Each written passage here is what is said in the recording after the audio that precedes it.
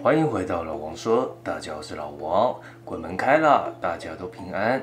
之前我跟大家都很熟，有点菜的茅山派传人讲了两个小时半的电话，在过程中我问他，哎，鬼门开的时候听鬼故事，到底鬼会不会靠近啊？他说，其实平常鬼就很多了，鬼门开的时候，这些阿飘都忙着吃饭，没空理你。就算要听啊，也是在门外听，没办法进来的。能够进门的都是有因果关系才能进门。那么除了聊这件事情之外啊，他还偷偷分享了三个鬼门开的防。鬼方式，我们节目结尾回来分享。那么说到因果，今天我们要说的故事就和因果有关系哦。故事是之前分享过香港故事的观众所提供的。他之前分享的故事封面是不该存在的房客，讲的是泰国酒店的故事。这一次啊，他又分享了两则故事，是他在很多年前在香港节目上听到，觉得非常精彩，于是翻译成中文分享给大家。那么接下来的故事，老王会用第一人称来叙述。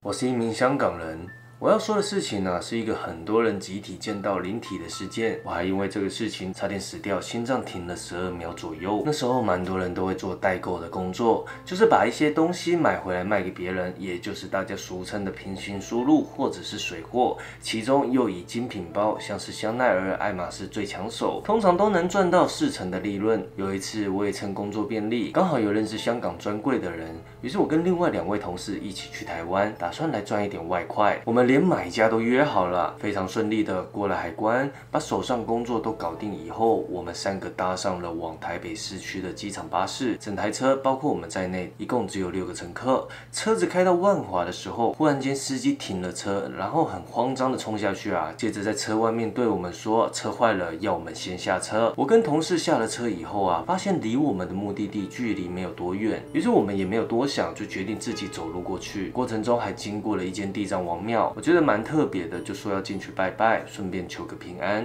我们进去以后，用手拜了拜就出来了。后来我们也前往了交易地点。那一天，我们跟买家约在台北市某间宾馆的三楼交货。我印象非常深刻啊，房号是三一零，地点是对方指定的。敲了门，对方开门，直接走了进去。我们也跟着进入宾馆房间。这个房间里面充满着美味，一张黄黄旧旧的床。同事看到以后啊，在旁边闷不吭声。这个床的床尾对着一个小电视，旁边有一张带有镜子的化妆台，感觉起来就是很便宜的房间。里面有两个人。一男一女，男生看到我们就用很粗犷的声音问：“货呢？”我就打开行李箱，我心想：“啊，不就是买个包包吗？搞得像是无间道一样，是干嘛？”后来他们检查过后说很好，然后钱给了，我们就走出房间。一走出门外啊，就听到男生说：“Baby，我刚刚表现怎么样？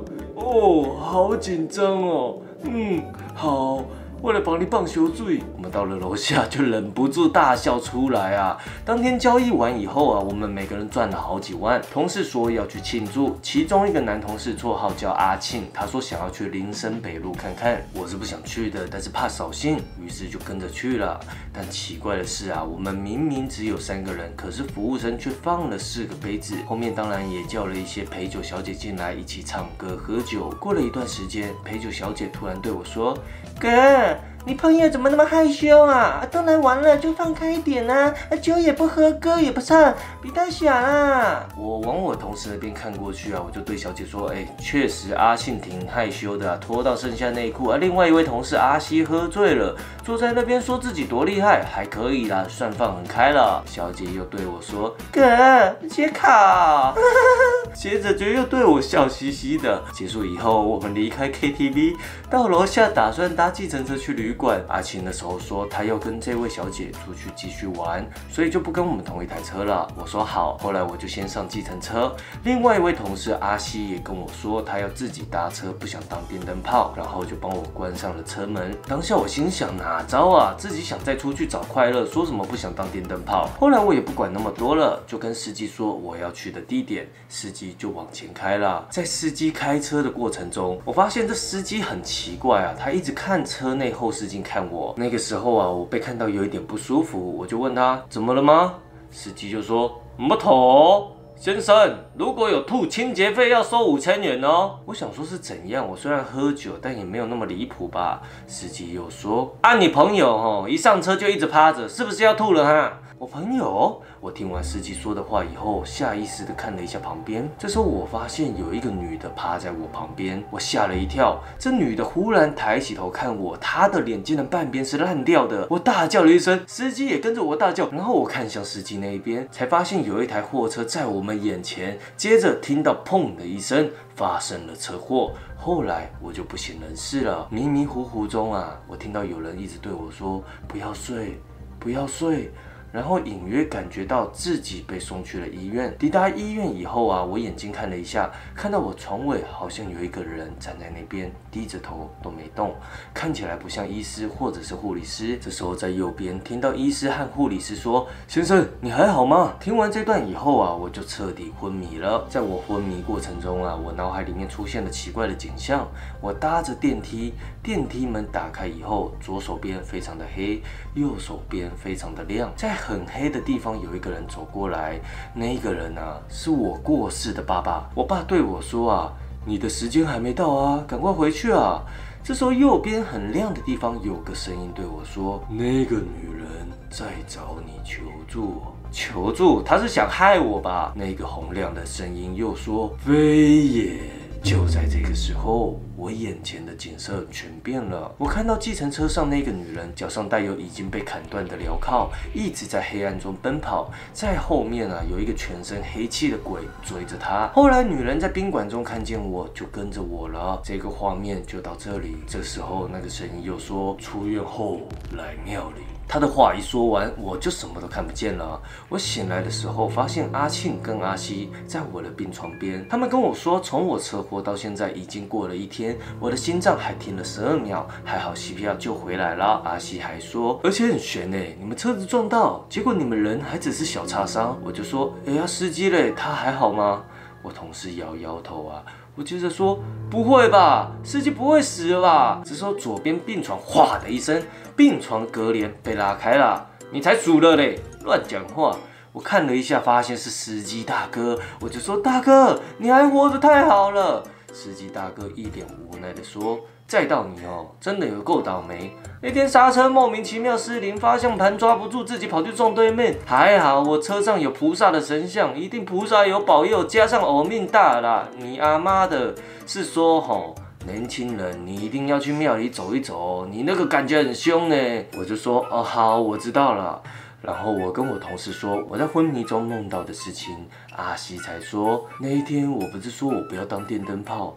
我就看到你身边站着一个女的，跟着你上车。我想说你自己也带了一个女生要回去，我就没有上车。原来我是撞鬼了。阿庆也跟着说，我当时在酒店看到你，想说你怎么点两个啊？原来是鬼啊！后来我出院以后啊，跟阿西还有阿庆约了再去地藏王庙拜拜。还没有进到庙门口，就有一个老人喊住我们，抬头白发，眼神看起来很坚定，对我说：“你是不是遇到问题？”阿信看到就说：“这不会是骗人的吧？”这老人又说：“一个女人，对吗？”接着我点了点头啊。老人说：“我是收到菩萨指示过来的。”没想到真的遇见了。后来聊了一下才知道啊，老人是一位已经退休的法师。他那一天梦到地藏菩萨要他过来这边，说会遇到三个人，衣服穿着两黑一白，白衣服的那个有问题。结果我们看了一下，我真的穿白衣服，阿庆、阿西穿黑衣服。后来法师要我们先去拜拜，拜完我们再来聊。于是我们就先进去参拜，拜完之后我们找了个地方坐下，我详细跟法师说了情况，包含我那天遇到的。事情还有我在昏迷中看到的画面。法师听完之后啊，对菩萨方向拜了一拜，然后闭上眼睛。我跟阿庆、阿西互看了一眼，心想这是怎么了？大概过了两分钟左右，法师说：“那个女人生前是个命苦的女人啊。”被人陷害囚禁，然后断气。断气的时候，竟然还被拘魂。他的魂魄现在就被困住。恰巧你的磁场跟他有对到，所以他才来找你求助。如果你们想帮他忙，那你就要找到他遇害的地方。阿庆、阿西就问了：如果不帮他会怎么样吗？法师说不会怎么样，也可以选择不帮。阿庆就对我说：那就当没事了啊，干嘛没事找事做呢？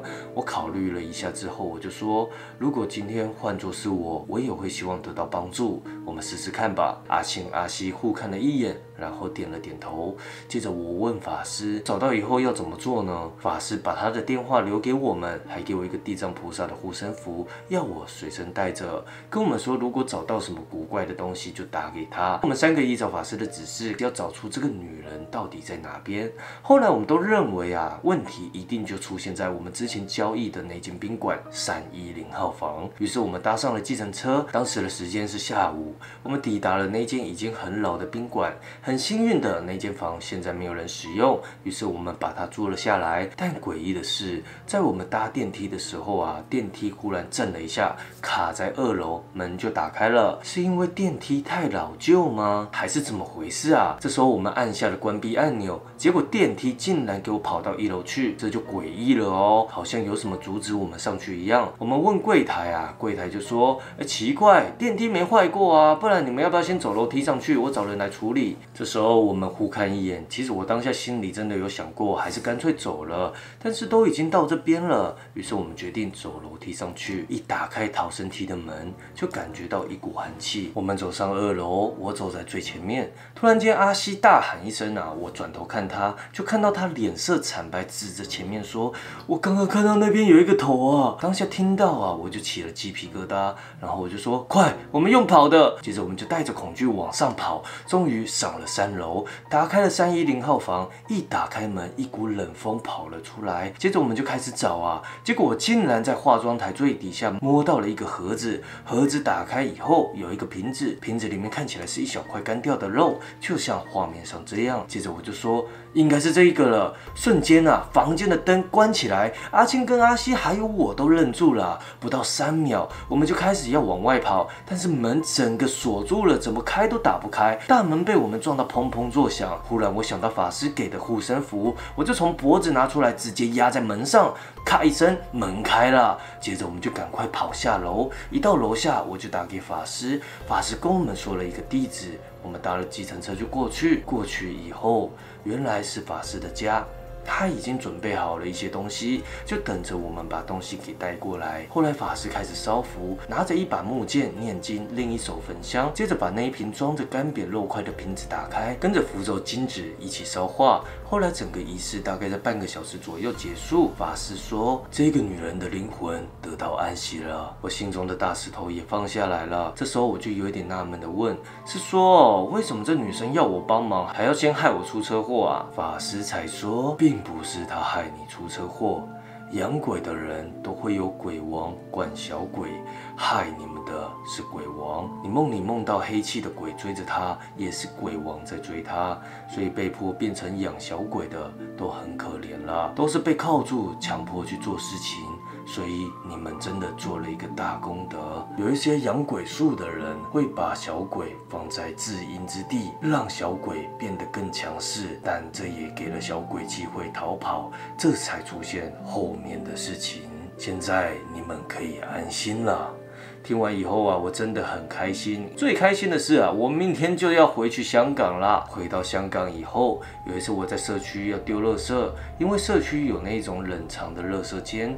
那一天是农历七月晚上啊，我去丢垃圾，因为社区为了省电，所以都没有开灯。结果当我打开垃圾间的门，忽然间啊，我看到一个人站在里面，当下我整个吓到，马上把灯打开来，结果好像是我眼花，我当时真的很怕有什么东西会冲过来啊。后来晚上睡觉的时候，我又梦到了怪梦，我梦到那个女人站在我的床边看着我，我当时就说我已经帮完你了，你还要干嘛？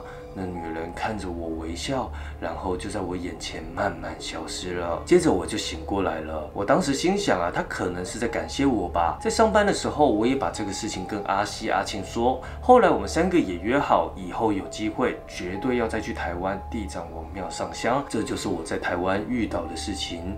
后来我在上班的时候啊，也有遇到另一件怪事。趁这次啊，也跟大家聊。大约在五年前的一个早上啊，我在公司楼下咖啡厅排队买早餐，因为排的。人比较多，所以要等一下。无聊啊，我就开始东看西看。这时候我发现公司同事阿香坐在咖啡厅里面吃早餐。我本来想要跟她打招呼的，但是我看到她老公也在啊，而且他们夫妇好像在吵架，男生一直在讲话，好像是想要解释什么事情。但是阿香完全不想理他，只是一直低头吃东西，表情看起来也有一点憔悴。我心想，总不会他也犯了成龙说的男人都会犯的错吗？他们当时结婚的时候，我也有出席，还跟她老公敬酒，感觉她老公啊是一个好好先生。看来啊，人不可貌相。看到这种吵架的情况，我也是怕尴尬，当然啊就不打招呼了。等我买完早餐要离开的时候，阿香的老公也看到我，我还跟他对眼，对他微笑点了一下头，马上就先跑了。毕竟人家吵架还是不要介入。以前啊我就有过类似的情况，情侣吵架找我诉苦，我也跟着骂，骂完以后他们和好啊，两个人一起来骂我，一整个莫名奇妙。这件事情就这样子过了。隔了一天啊，我才听到一个让我震惊到不行的事情。公司大家在讨论阿香老公过世的事啊，她老公啊，在几个礼拜前因为车祸过世了。我当下听到真的是吓傻，可是我也是安慰自己，大白天的又不是鬼月，应该不是阿香的老公吧？只有鬼月才会有鬼出来吧？绝对是长得很像的人而已。可是没想到的是，经过这件事情开始，我常常半夜回家都有一种奇怪的感觉，我总觉得我身。身后好像有人在跟踪自己，但是回头一看，却什么都没有发现。还有一次，同事之间啊，为了阿香，特地约聚餐吃饭，吃完还去唱歌啊，我也有参加，一切都很正常。但是在 KTV 的时候，我总是隐约感觉，好像某个角落站着一个人，整个人灰蒙蒙的，看不清楚样子。我还问我同事，我说：“哎，你有看到那边有一个形体吗？” 我同事笑我说：“啊，啊，你就喝汽水而已，你这样也能醉吗？”我心想，那可能最近演。压太高，我看错吧？于是我就进去包厢厕所里面，想说洗个脸，清洗一下。在我关上厕所门洗脸的时候啊，我耳边突然响起了一首歌，是林俊杰的小酒窝。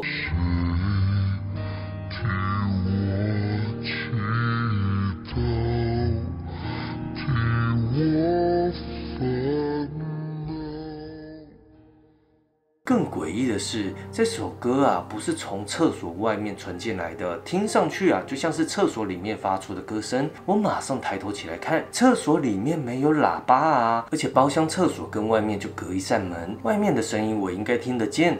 但这时候啊，我感觉我好像掉到一个灵异空间，因为我只听得到小酒窝的歌声，完全没有外面同事的聊天声，也没有任何唱歌的声音，就连隔壁包厢的歌声也都没有，因为我是。自己开车来的，所以我没有喝酒，不可能是喝醉产生的幻觉吧？那这诡异的歌声是从哪里来的？这时候我就觉得毛了，我想说不行，我赶快出去好了。但我想开门出去的时候，却发现厕所门怎么样也打不开。接着歌声不见了，取代的是有人在我耳边一直对我说：“帮帮我，帮帮我。”这下我确定啊，闹鬼开始有预兆，我真的是遇到灵异事件了。于是我一直用力拍门，希望外面的同事听到拍门声过来救我。幸好啊，他们真的听到我拍门的声音。奇怪的是，他们从外面轻轻一扭，门就打开了。就在他们推开门的那一刻，刚才我在厕所里面听到的所有怪声都同时消失了。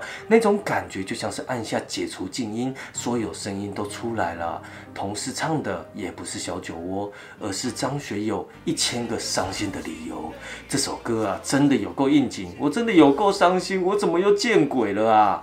同事当然有追问我发生什么事情，我挥挥手说，我身体不太舒服，要先回家了。正当我走出包厢要把门关起来的时候，我又看到阿香的老公站在阿香旁边。我的妈！我看到啊，直接狂奔回停车场，开车回家。在这个 KTV 事件之后，我整整病了两个星期，而且在生病的时候，我常常做一些奇怪的梦。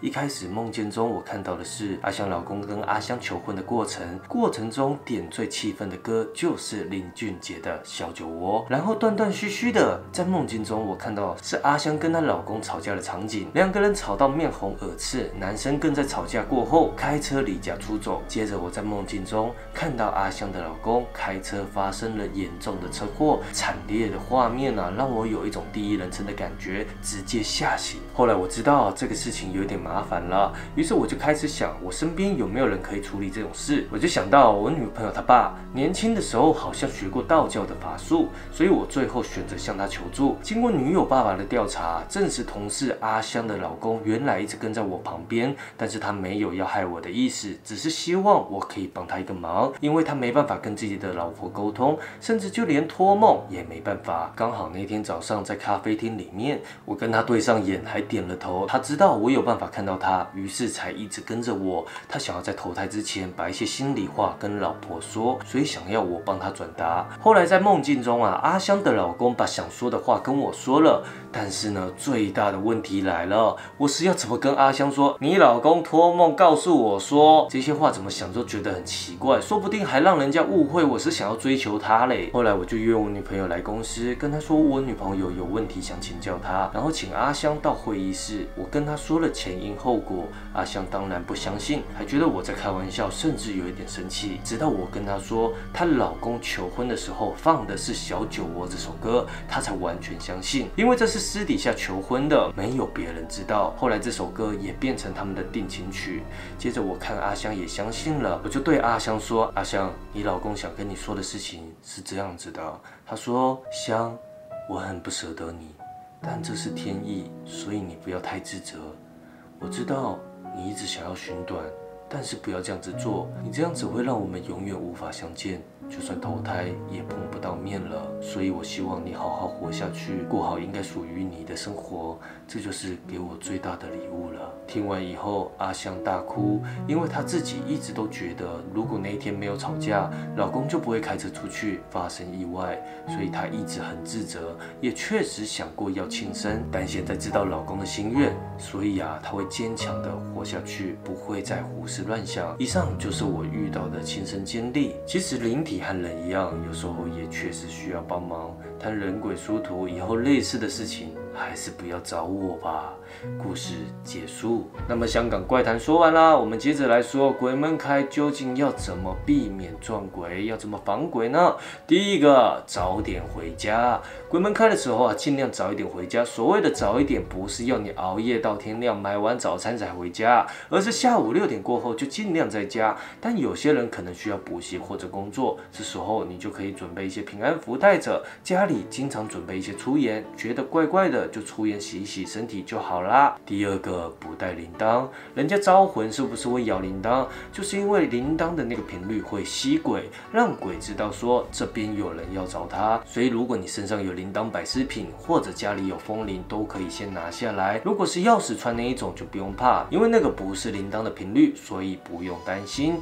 第三个戴帽子，如果你遮住了天灵盖，这叫做盖天地。盖住以后，鬼会认为你是同类，就不会去找你寻求帮助，或者啊，也不会对你好奇。但我自己觉得这个有一点毛啊。如果觉得我是同类，想要搭讪我，那该怎么办？以上三个就是他分享给我的防鬼知识。我还是觉得啊，鬼月是慈悲月，是祖先家人上来放风的日子。自己的心态放好，什么都不用怕，心里有正能量，看见什么都。有正能量，然后常说好话，多做好事。现在留言说一句，大家平安，也是功德一件哦。哦，Power，今天的故事就说到这里，我是老王，我们下次见。